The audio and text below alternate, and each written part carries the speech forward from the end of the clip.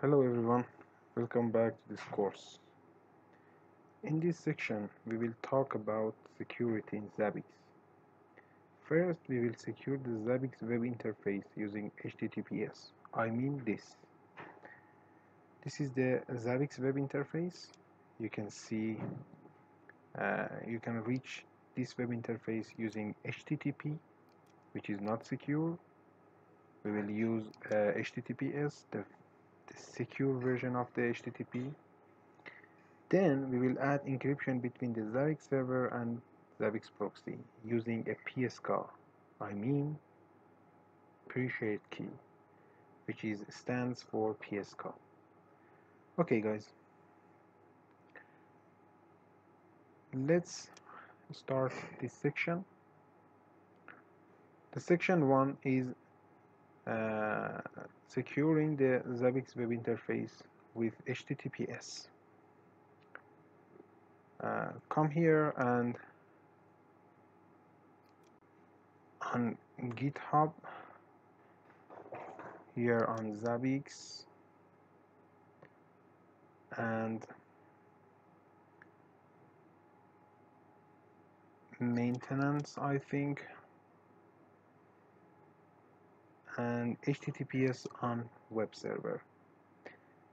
Uh, you can obtain a valid public and private key. You can obtain a valid certificate using certbot with Let's Encrypt. Okay, uh, it requires a domain, but for testing purposes, we use OpenSSL for obtaining our certificate. Uh, step to enable HTTPS.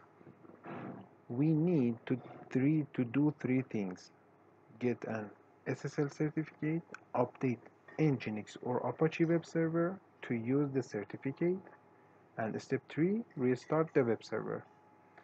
Come here and go with this guide. Copy this line and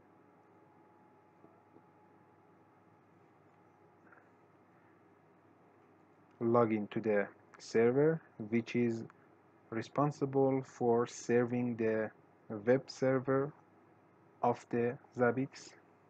I install the Nginx for serving the static or dynamic files for the Zabbix server on the same server.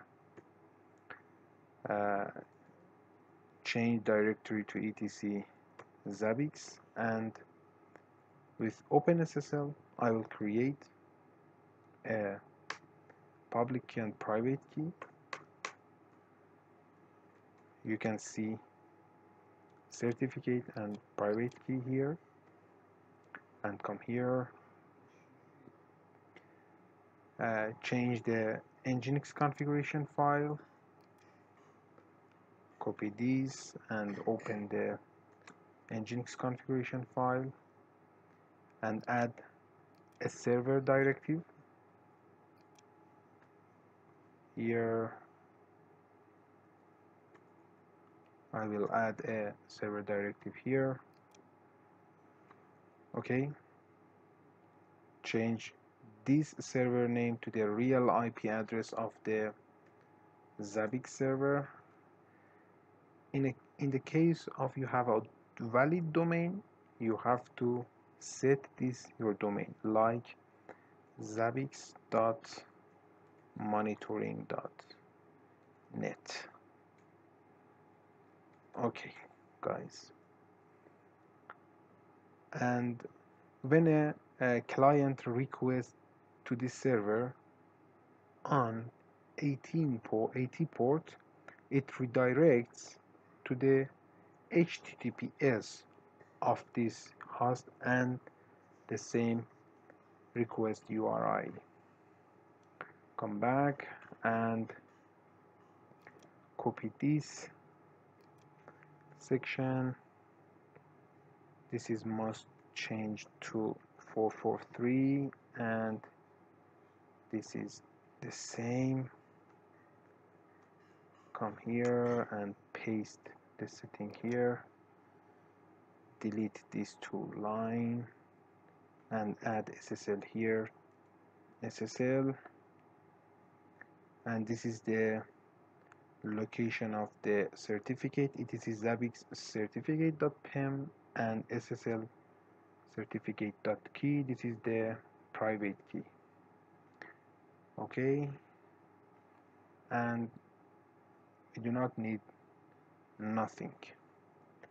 Now test the configuration of the nginx. You can see the you can see the uh, configuration file. Syntax is okay. Now we have to reload the nginx server come here and refresh this page. Look at here this is HTTP and when I refresh this page you will get the warning because we use the self-signed certificate. Advance and accept the risk and continue.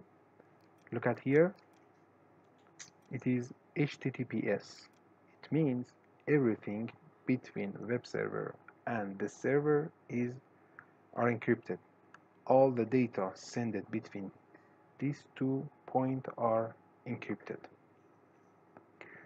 This is the part one of this section. For part two we want to enable the PSK but why PSK